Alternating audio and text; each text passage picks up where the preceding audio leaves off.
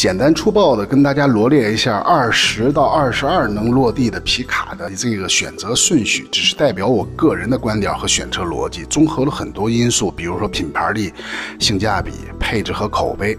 我绝对不敢代表什么权威，只是给大家一个我自己的参考意见啊。你要是喜欢柴油皮卡，我的推荐顺序是 D-Max、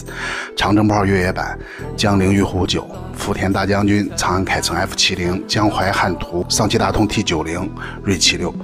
你要是喜欢汽油皮卡呀，我的推荐顺序是长城炮越野版、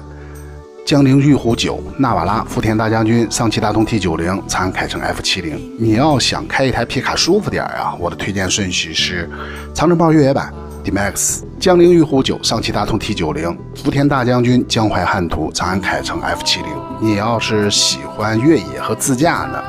我的推荐顺序是长城炮越野版、D-Max、江淮汉途、纳瓦拉。如果你喜欢款式新的呀，D-Max、长城炮黑弹、长城炮火炮、上汽大通 T 九零、福田大将军、江淮汉途。你要是喜欢省油的话，D-Max。上汽大通 T 九零、福田大将军、江铃玉虎九、江淮汉途、长城炮越野版。你要是喜欢改装潜力大的话呢，长城炮越野版、D-Max、江淮汉途、纳瓦拉。好了，下一期聊聊十五万落地的皮卡选择顺序。